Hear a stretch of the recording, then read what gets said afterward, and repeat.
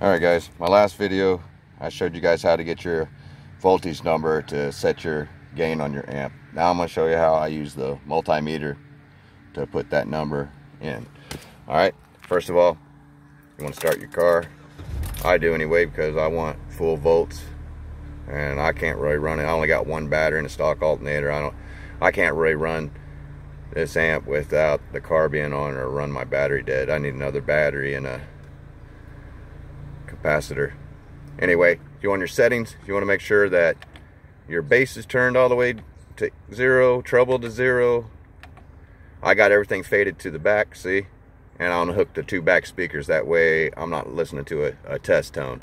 And you also, you wanna make sure the EQ is flat, the loudness is off, and then you wanna get it up to your desired volume, about 41 don't distort on mine so I'm not going to go any higher than that. Um, then you need to make sure you have a, a test tone. I'm going to use a 40 hertz.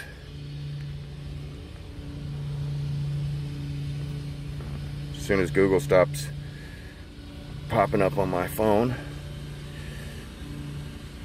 make sure your volume on your phone is turned up too I made the mistake of not checking that earlier and I couldn't figure out why it wasn't registering. Anyway, you want to make sure you take your speaker leads out and uh, connect your multimeter into the positive and negative.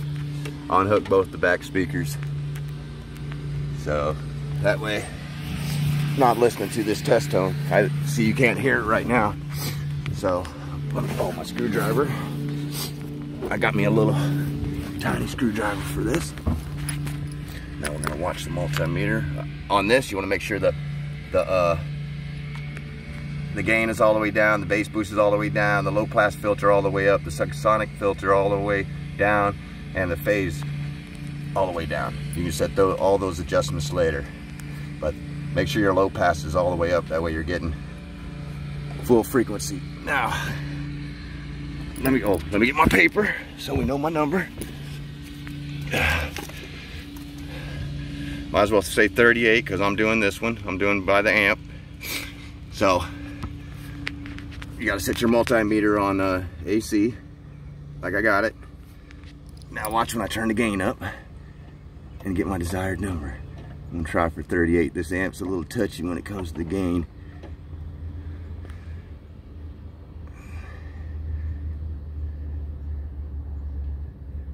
Oh, was almost there.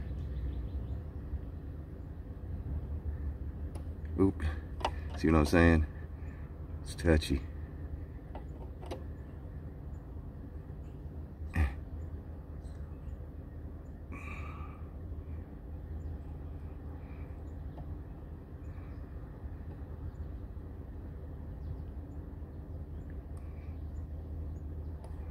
Thirty-seven point nine.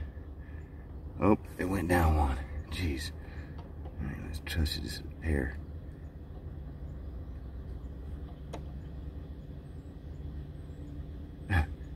Thing's so sensitive.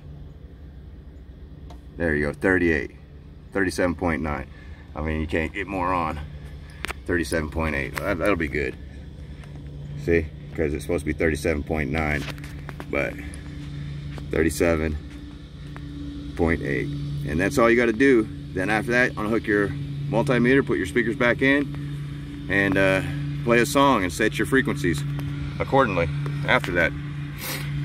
All right, guys. Thanks for watching.